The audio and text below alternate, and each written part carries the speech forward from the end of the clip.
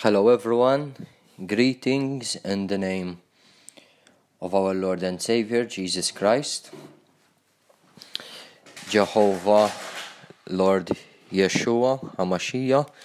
I just want to share a quick short message uh, for for you to you and uh, I know that it is going to be a revelation um, to many for this is a revelation by the Spirit of God, so the Spirit of God receives all the glory. For He is our teacher and He will teach us about everything. I want you to go with me in First John chapter 1 and I'm going to read from verse 1 which the Holy Spirit through John the Apostle is saying. For it says that all scripture is breathed out by God.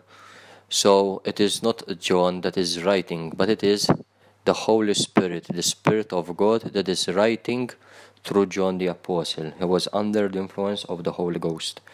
Verse 1 from First John chapter 1 it says that which was from the beginning which we have heard, which we have seen with our eyes, which we looked upon, and have touched with our hands, concerning the word of life.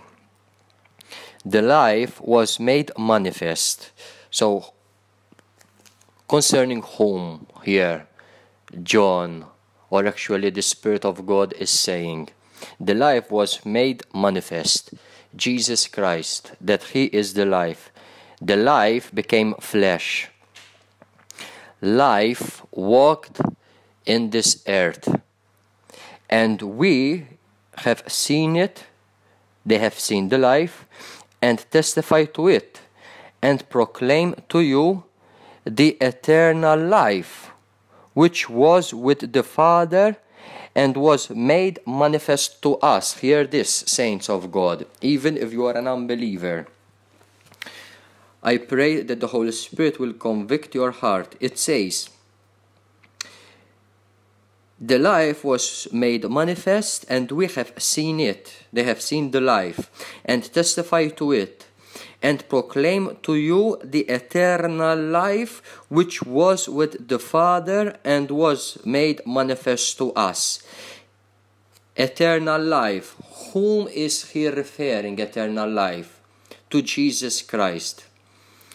Eternal life was with the Father and was made manifest to us. Eternal life became flesh and dwelt among us. Eternal life is a person, that his name is Jesus Christ. Now, hear this message well, this is deep.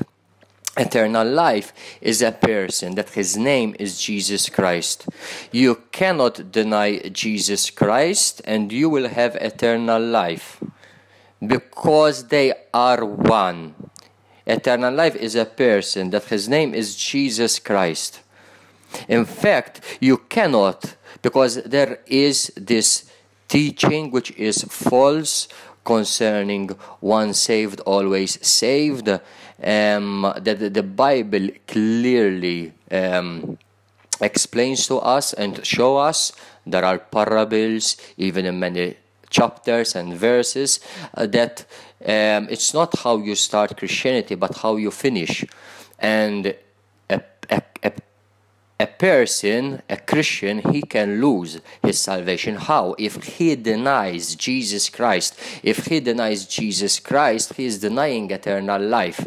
If he, let's say, is he is is uh, in in the moment to or he is being persecuted or she, and they say the person, you know, deny uh, Jesus, and we will spare you.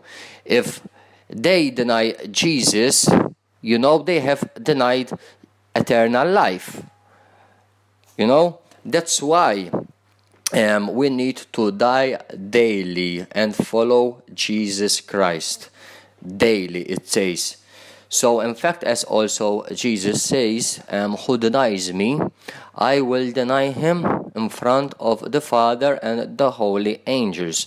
Why? Because if you deny Jesus, you are denying eternal life. Eternal life is a person, that his name is Jesus Christ. In fact, Jesus um, said to Martha, I am the resurrection and the life. He is the resurrection the, and the life. So if you reject Jesus Christ, you are rejecting the resurrection and the life. So if you are if you are rejecting resurrection when you die, how can you be resurrection? How can you be um, resurrected again? The same, if a person does not believe in the Holy Spirit, he believes in God the Father and Jesus, but does not believe in the Holy Spirit. If a person does not believe in the Holy Spirit, he cannot have the Holy Spirit. And it was the Spirit of God that raised um, Jesus from the dead. So if you are rejecting the Holy Spirit, um, the Holy Spirit cannot. Um, resurrect that person. Apart from that, obviously, where the scripture says that those who have the Spirit of God belongs to God. So you need to have the Spirit of God to belong to God. So, yes, um, brothers and sisters, um, practically this was the revelation to you that eternal life is a person, that his name is Jesus Christ. Um, a Christian person uh, born again, he can um, lose his salvation if he willingly choose. And one of the things how um, you can lose your salvation is by fear. You fear. Fear is um, a dangerous tool, a dangerous spirit. Um, uh, that's why um, also if you go in Revelation, it says uh, where the Lord Yeshua Hamashiach says that um, um, the coward who is coward, um, his portion is in the lake of fire, because um, coward, you know, um, it is a sin. You know, um, for God did not give us a spirit of fear, but of power, love, and self-control. So, saints of God, before I close, I just want to refresh your mind and your spirit, and I make sure that the seed will enter in your soil and uh, the Holy Spirit will water it and it will grow and it produces um, good fruit. And I pray that you might share this message with um, your loved ones and brothers and sisters because there are many um, false teachings out there that they seem right but they are not right like one of them is once saved always saved um, uh, here you can see clearly that eternal life is a person that his name is Jesus Christ. Eternal life was with the Father in heaven and was made manifest to us. Eternal life is Jesus Christ. Eternal life is a person that his name is Jesus Christ. Eternal life became flesh and dwelt among us. Amen. Many people in those days, in those times, saw eternal life and they touched eternal life. They touched Jesus Christ, they touched his flesh, but not all received eternal life. This is really deep. This is really deep. I repeat, in those times, many people saw eternal life because eternal life is a person. His name is Jesus Christ. Many people, there were many crowds touched eternal life, that his name is Jesus Christ. He walked in the flesh, but few people received the eternal life. And you can see one of the examples that those people that they gave their back um, to the eternal life um, whilst they were disciples of Jesus Christ is um, in John chapter 6 verse 66 where, the, where there was a multitude of his disciples that they were that they were disciples of Jesus Christ and they took offense at his teaching and they turned back, it says. What it means turned back? They gave their back to Jesus Christ. If they gave back to Je- if they gave their back to Jesus Christ, they gave their back to eternal life. And there immediately, if you are giving your back to eternal life, you are giving your back to salvation. Salvation is a person that his name is Jesus Christ. That's why in the scripture, and I would like um, to close with this verse by the grace of God through the leading of the Holy Ghost. Um, if we would go in uh, in First Timothy chapter 6 verse 12 it says fight the good fight of faith of the faith. Take hold of eternal life. Take hold of eternal life. What it means take hold? Grab eternal life. Because eternal life is a person.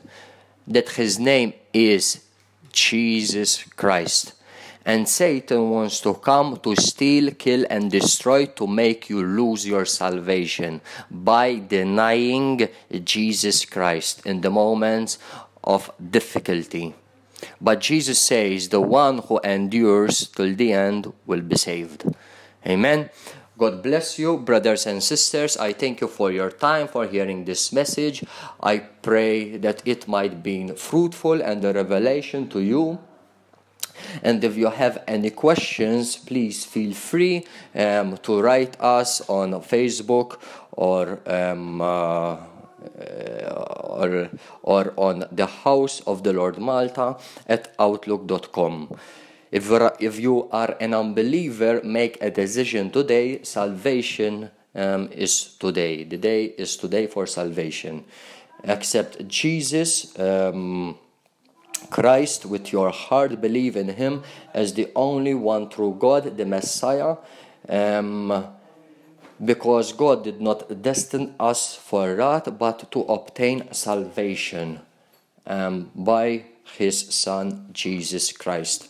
And there is no other name which is given unto man. Uh, that we might be saved. Only Jesus Christ. And there is only one mediator between God and mankind Jesus Christ. There is no Mary, no Buddha, no Hindu, no Allah, only Jesus Christ. All other gods are with small g and they are false and they will take you and drive you to hell.